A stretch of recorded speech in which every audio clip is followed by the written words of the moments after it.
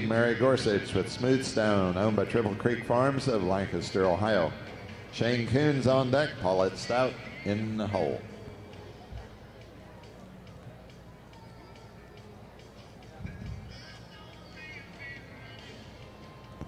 Spring on, draw 123.